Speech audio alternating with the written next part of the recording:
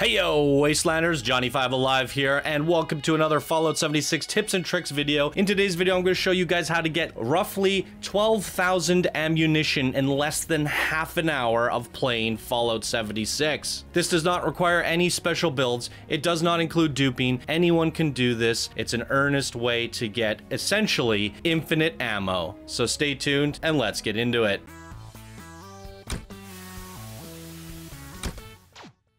All right, welcome back, everybody. Hope you're all doing wonderful today. As mentioned, this is a, a, guide just to specifically get ammo. As you can see here, I'm sitting on 3,200 lead scrap, which is required to craft ammunition. If I go over to my Tinker's Workbench, I can literally craft ammo for days. So how do I get all this lead to craft this ammo, you might wonder? That's what today's video is going to be all about. Anyone could do this. All I recommend is that you grab Traveling Agent to ruse the caps of traveling around, because that's the only cost. And as well as if you have Picklock rank 2, uh, that'll come in handy for uh, like two spots to get you some bonus goodies, but it's not required at all. There's going to be two parts to this video where I just get pure lead from weights, and then part two is where I get enough ore to get a thousand lead roughly from mining. But in order to mine, you need to have the excavator power armor, which allows you to mine four times the amount of lead when mining. And you, all you have to do to get that is port to the Garrahan mining headquarters. A quest will pop up to read a sign, and it'll take you through it in 10 minutes you'll have the power armor, but you need to be level 25 in order to use it. So if you have that, then you're good to go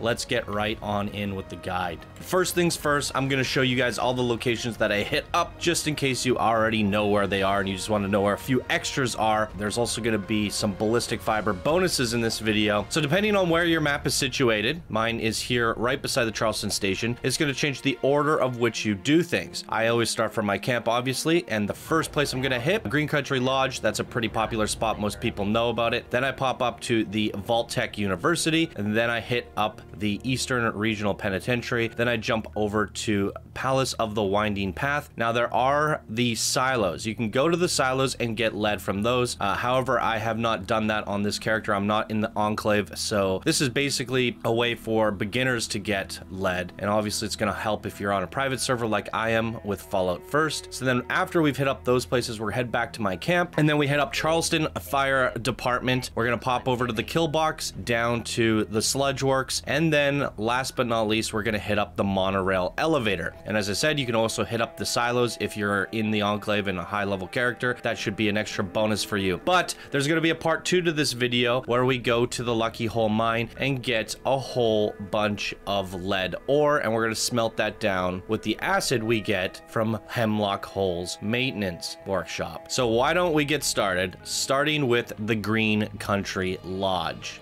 Okay, so you're gonna pour it in here, and you're gonna see the Green Country Lodge right there. Uh, you will get a couple mole rats popping up here, usually. There's usually about two or three. There's always gonna be a possum here. No mole rats today, that's interesting. Turn on your flashlight, there should be a roach here that you kill. And here's your lead. One, two, three, four, five, six, seven, eight. Now you're gonna be overweight, so we're gonna have to head over to a scrapping station. I haven't really found one in this building. Maybe I haven't looked really hard enough. I know there is one just down the street. We pass under this bridge, and it's the second house on on the right. So we're going to pass by this house. That house right there with the little blue responder sign is the one we're looking for. And paint cans also give lead, so don't, and tin cans as well. So don't forget to grab these while you're here. And there's some, some enamel buckets, paint cans, and concrete and canisters. Scrap here, and we're done this part. Next, now we're going to head over to the Vault-Tec University. Okay, this is where it spawns you in. As you can see on the map, we are here. And we're just gonna head right on into the front door of the main building, that big red door right there. And there's two spots in the university that we're gonna get our lead. So you're gonna have some low level baddies in here once you get in. There'd be a couple right in the main room here.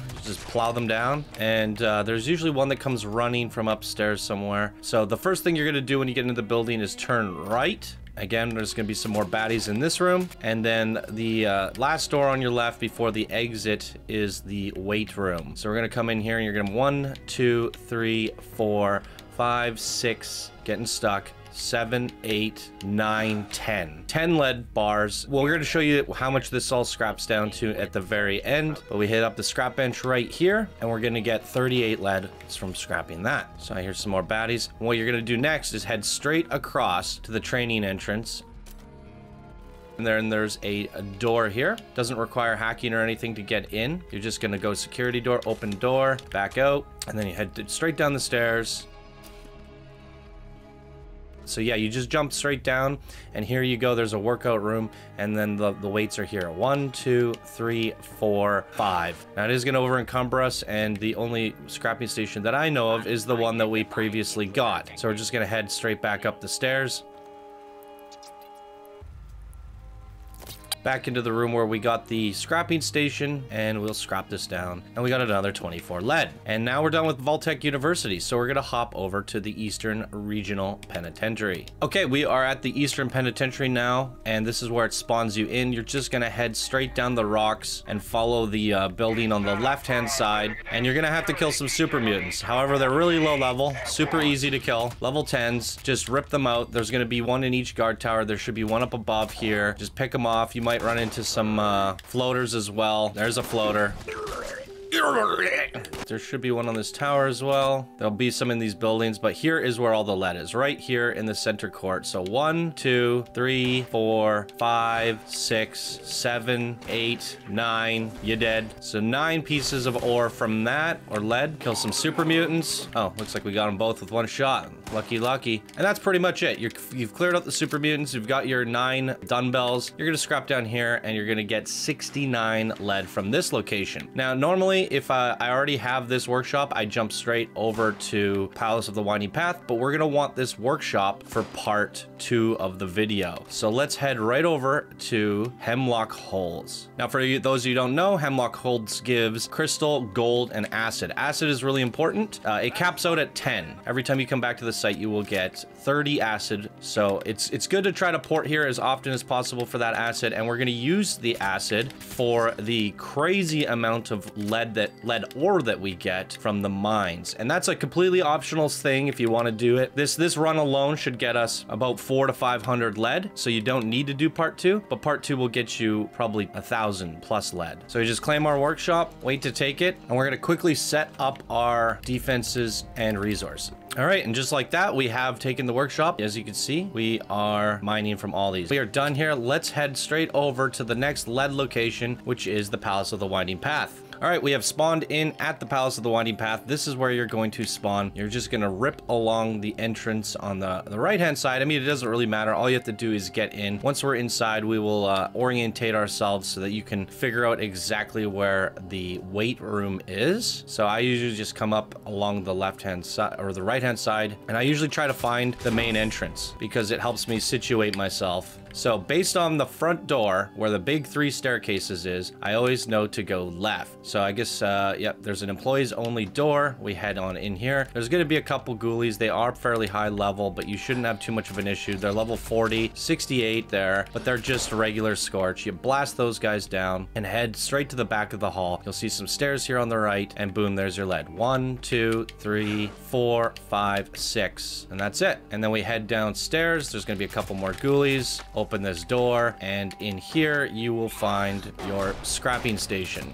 right here, chemistry. Scrap that down, 29, 29 more lead. And we've pretty much cleared it out for the top hand side. If you want to do nuke silos, as I mentioned earlier, you can do that. But from here, we're going to head right down to my camp and hit up the next location. So here we are in my camp. Again, if you have your camp at the top of the map, you might want to do the order differently. Maybe start here, work your way down, and from here you would already, you know, Green Country Lodge would have been your third or fourth location, and from there you're going to fast travel down to Charleston Fire Department. So here we are. We've spawned at the fire, uh, Charleston Fire Department. This is between this and Green Country Lodge. These are the two most popular spots in the game for lead. A lot of the new players stumble across this. They know about it. So if you are on a private server, chances are it's all taken. One way to know is if these phones are taken. Most people come in here, they'll take the phones. If the door is open and this stuff is gone, somebody's most likely been here. But on a private server, you have nothing to worry about. One, two, three, four, five, six, 7, 8, 9, 10, 11, 12, 13, 14,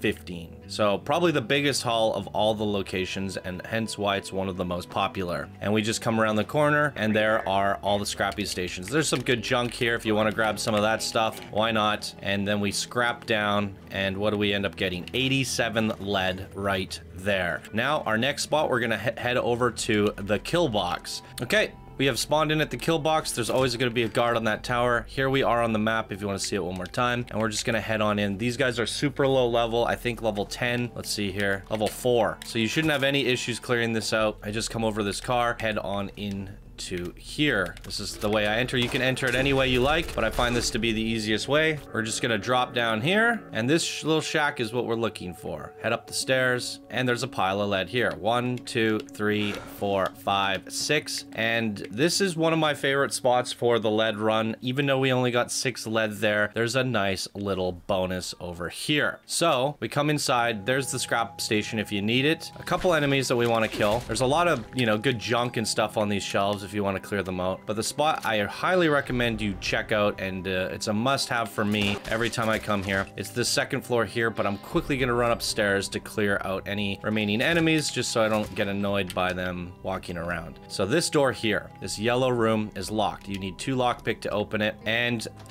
Every time I come in here, you usually get a magazine or a bobblehead. Okay, not every time. Scratch that. Generally, there's usually a magazine or a bobblehead there. It's a random spawn, but you get some circuit boards, and this is what's important. Military grade duct tape. That's ballistic fiber right there. More military duct tape and military ammo bag. Why are those important? Because you scrap those and you get ballistic fiber. So if we come over to our scrap bench, we ended up getting what? 32 lead, and six ballistic fiber. And I will show a little bonus clip of me getting more ballistic fiber after we've finished the lead run. So after we've cleared out the kill box, and now we're done, we're gonna head down to the sludge works. Okay, we have spawned in right here at the sludge works, and this is the entrance here. This is gonna give you a little bit of a fight, depending on how strong you are. They may only be level 14 to 20 here, but they do have laser weapons. They, you know, they're well equipped, let's put it that way. So you'll come in here and you're gonna get, you're gonna have to fight your way through, but there is, uh, if you just kill everybody and loot everything, it's actually quite a good EXP run and loot run. As you can see, there's junk everywhere, good junk, you know, acid, duct tape, you know, circuit boards. There's all sorts of good stuff in here. So you might want to take your time and clear it out. But uh, for the sake of this video, I'm going to haul through here. For the sake of the lead run, I just kind of come in here, murder everybody as fast as possible, and move on with life. It's certainly a good place to come get some EXP and junk. Looks like we've killed them all, and you're going to head right to the back here where the tinker bench is, and you'll find all the lead here. One, two, three, four, five, six, seven, 8 nine, ten. Boom. And then grab some of this stuff too while you're at it. Now we scrap down and we got 53 lead. Another really good haul right there. And now we're going to head over to our last location, which is the monorail elevator. 21 caps. I suggest putting a camp down there if you can or having a travel agent. Okay, this is where you spawn in. As you can see on the map, this is where I'm at. Looking at the monorail ele elevator, there it is. And what I'm actually going to do is if you have Fallout first, uh, I, I highly recommend you throwing down a survival tent if you don't have Fallout First, maybe you might not even want to come here because I have not uh, found a workbench in this area. I mean, sure, you could probably come here, waddle around the wasteland and try to look for a workbench. You can figure that out for yourself, but I'm telling you that I haven't found one, but I also haven't looked that hard. So you're just going to head up the elevator here. And once we're at the top, this is actually one of the better spots. Uh, I haven't actually counted it up, but what we got like 15 at the Charleston Fire Department. Let's see how many we get here. Now there's some stuff over here. There's some like tokens and stuff on this ledge and all sorts of junk. You can grab that stuff if you want. Headed over here, we have, here's more lead. One, two, three, four, five, six, seven, eight, nine, and some concrete bags. So nine right there, 10, 11, 12, 13, 14, 15. So just as good as the Charleston Fire Department. Maybe not as good because the, the other lead, the other weights way more. And we could just turn around or if you go to the other side, the, both the elevators kind of can take you both back down. So it doesn't matter which side you came in. And I'm just going to leave out the side we came because it's closer to our tent. This is the last spot of the main lead run, which doesn't require any additional trips or work. So this is what we're to do now. We're to scrap everything. And you can see, well, hold on. Because I'm scrapping down here at my scrap box, it's to throw it all in there. So two ways to check how much lead we got from this. Lead scrap, 389, plus what we're to scrap here, 71. So that's 460. Yes. And just to show you here, my lead scrap, we're at seven, 1741. We deposit all of this and we're at 2200. So that's 460 lead in like less than 20 minutes. That's freaking insane. And with that, with super duper, let's uh, do the math. That should be enough to craft you roughly 4,000 ammunition for maybe uh, 4,556 for me. That is huge. That is a ton to last me for a while. And with super duper, probably get even more. So a lot more. So maybe four, 5,000 just from that and you're good on ammo for a while. But we can't end the video off there because I have another tip to get a boatload of lead. And because we recently took this workshop, why don't we hop up there and show you all the acid that we got. So I have to defend and it's usually anglers, to be honest. And anglers are a great source of adhesive. It's really good. Um, our turrets are working away, but we have to come here to, you know, finish them off. It's super easy. Kill all these and look, look at all the stuff we get. Angler meat, adhesive, as asbestos, lots of good stuff. Just like that, we've defended our workshop. We want to head over here and make sure everything is repaired. And now we clear out our acid. We did the lead run so fast in between that these acid extractors didn't even have time to fully fill up. But if you give it about a half an hour and you come here, there'll be about 10 acid in each one and they cap out at 10. So don't just let it sit there for hours and hours and hours. Check back in on it between things that you're doing and you can always travel travel to your workshops for free. You're going to want to farm the acid for as long as possible, and that's why whether you're on a private server or a public server, you want to take it right away the moment you log in. Make sure that your play session is a good investment, that you're getting lots of acid out of this workshop. So there you go. We've gotten our acid. Let's head back to, we're going to head to our tent, and then we're going to, right there is the Lucky Hole Mine, and that's where we're going. Let's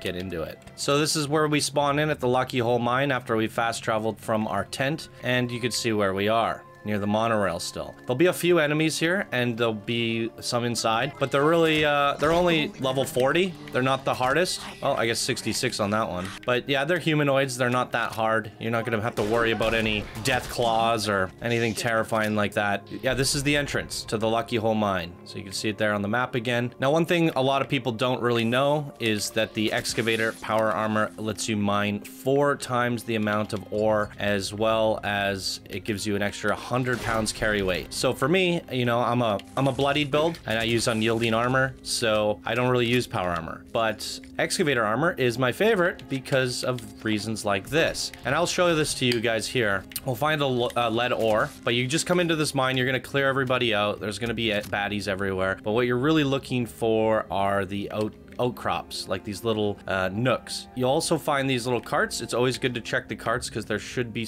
lead in some of them. Kill some baddies. This is what I'm talking about. These little nooks. You can see the lead right there and there. So if I mine it, I get one lead ore. That's terrible. What we do is we pull out our power armor excavator armor. And if you don't have this and you want to know where you get it, all you got to do is go to Garrahan Mining Headquarters. You'll find when you get there, a quest will pop up saying, look for a sign. There's a sign, you click it, the quest will start, and it'll get you to check some computers. It'll give you the plans. You have to craft the armor, scan the armor in, and you're done. It's that easy. It'll take you 10 minutes. But you have to be level 25 to use the power armor. I highly recommend you wait for 45 because then you don't have, you know, you want to craft the level 45 version of the armor. So now that we're in our power armor, turn our flashlight on. Now look how much ore we get. Four lead and I think it lets you mine them extra. So every one of these that we're clicking, I clicked that four times. I got four lead ore each time. So look how much lead is here. And we're getting four for each click. So right there, we just got a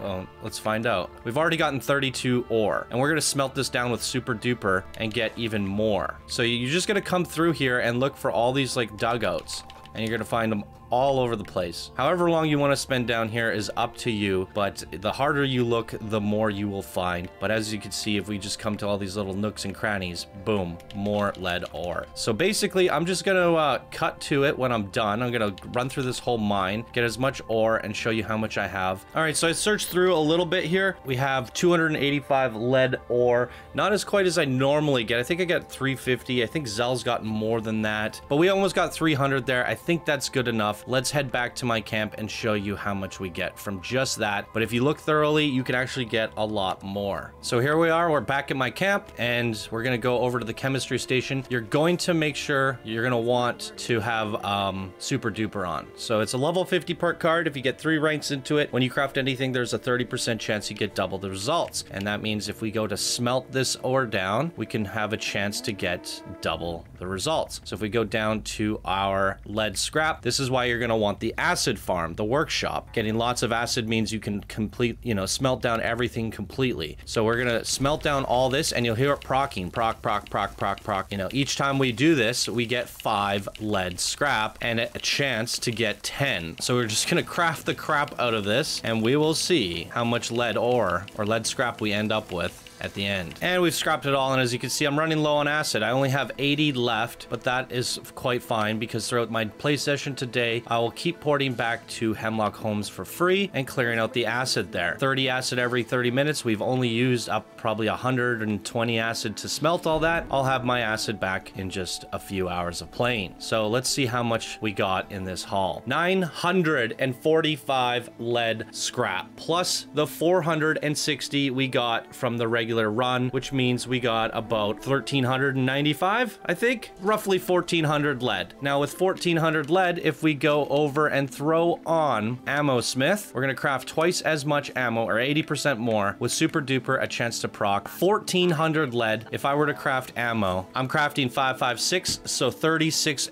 rounds of ammo for every six lead. 1,400 divided by six is 233, so if we craft 233 batches batches of 36. It's 8,400 ammo with 30% of that giving us double. We'll come out with at least 12,000 ammo from that run, and it took us less than half an hour. So there you go, ladies and gentlemen, 12,000 ammo in less than half an hour.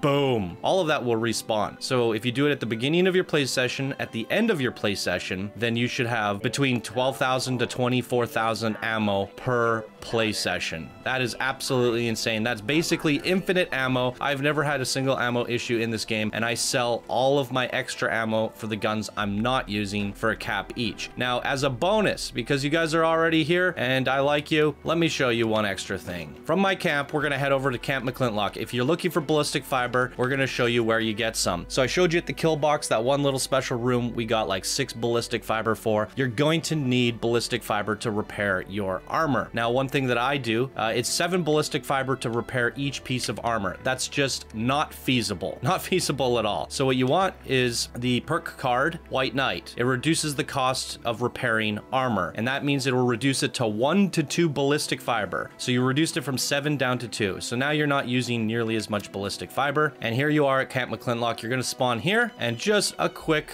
run of ballistic fiber to show you guys how I get, uh, I add this to my run and I have never had issues repairing my armor. You come right into the room, you're gonna get a military ammo bag right there on the right. You can get a ton of clipboards if you look around. If you need screws, you can get them from these clipboards. They are all over the place. Just have a look around. You'll see them all over the floors. There's a bunch more here. You can grab a typewriter here, come to the back, boom, another bag, done. That's two, and I believe you get two uh, ballistic fiber from each bag. So there you go. You come out the back door, you're gonna see a bunker there. Just keep down the road until you see the car or the uh, military vehicle. Go inside the military vehicle, there'll be a bag right there. That's three bags. Duct tape, military duct tape gives you two as well. So that's four, four things that give um, ballistic fiber at the very back. That's five. And from here, we're just gonna head all the way down this path to the very back.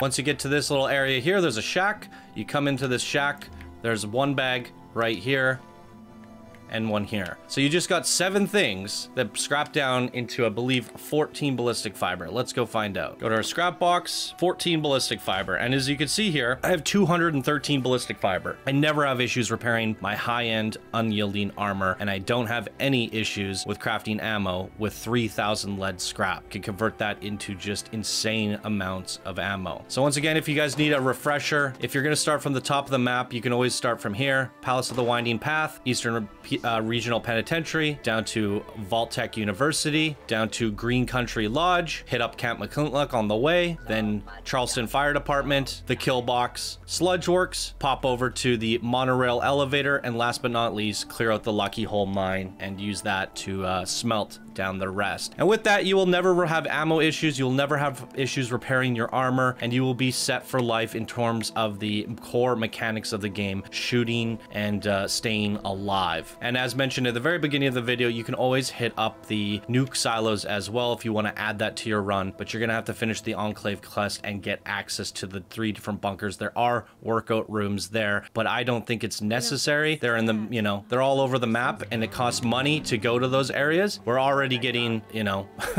1400 lead with my run, not using the silos. So it's always an option, but there you guys go. I'm going to have plenty more guides. I have funny moments. I have all sorts of follow-up videos in my channel. Check out the links in the description if you want to see more tips, tricks, and guides. I have a whole playlist in the description, as well as a funny moments. If you want to have a laugh, if you want to see the crazy things we do in Fallout, check out the funny moments. Uh, and be sure to subscribe because there's going to be uh, new videos on Fallout on the channel every other day. More guides coming. And when the future content comes to the game, I'm going to be covering it right away. So be sure to smash that subscribe button and uh, leave it a like if you enjoyed the video. Thank you all so much for watching, and I will see you in the next video. Bye now.